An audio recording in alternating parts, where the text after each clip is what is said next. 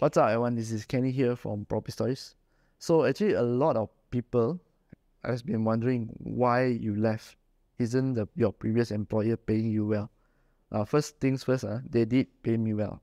Okay, so I left also because I want to pursue a new challenge. But this decision is not spur of the moment. Last year, about I think around October or November, things are starting to get tough. Approval is getting tighter. Things are not looking that good and then I I lost a lot of cases, and it was like a lot of hard work, but not much return. You would think that is normal, right? That's every business has its ups and downs. It's true, you know, it's true. So there's nothing there to actually blame the previous employer. No need to blame anyone, okay? No need to blame anyone. Nobody. Remember, if you think whether you want to leave or not, I don't always blame the employer. The employer uh, has paid his dues. Okay, remember in the previous video I mentioned, nobody owes you anything. Your employer is paying you your salary every month, okay? Even though you're not bringing in sales. So the employer does not owe you anything. So what I was thinking is that how long I want to do at this. I can go to another bank to do another mortgage. And then things will still be like this. And it's already been six years. Frankly speaking, I'm tired. Lah. I want to explore new challenges, new things.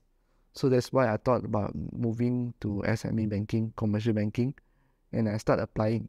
I went to, I started applying, I think in uh, January or January or February. But before that, in uh, November, December, right, I was uh, asking around what is it like to do com- um, commercial banking.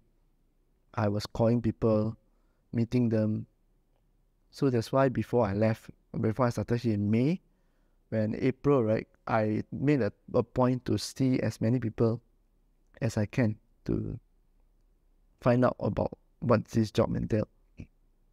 And then I also find out about like whether there is a commission or not, what's the career prospect, what do you need, need to do, these kind of things. At the end of the day, I can tell you, right, it's useless.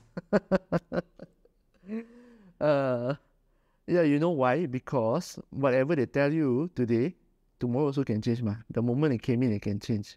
That's so no point one. If you got an opportunity, right, just find for the opportunity. If you got an opportunity, just grab the opportunity and go. That's it. Okay?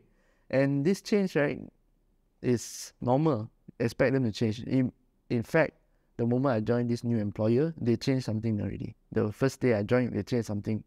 So they changed something to be more strict, more strict, okay? A bit more tight and you need to do more things. What can I do about it?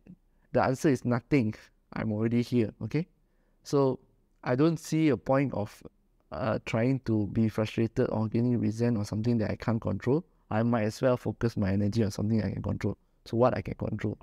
I can control how many people I call a day. I can control prospecting. That's what I can control. I can control how much I learn outside of the job. I can control learning about a product. So the first month has always been training, training, training. In fact, next week, I still need to attend training.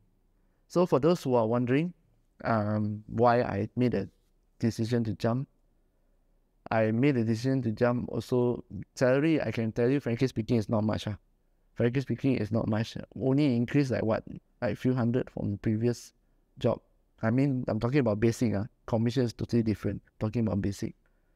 And benefits also roughly the same. Uh. If you're in a bank, right, big banks, you can expect roughly the same benefit. There's not much difference between one bank to another. So why I so crazy to take a chance on myself is because I'm just bored and I need a new challenge.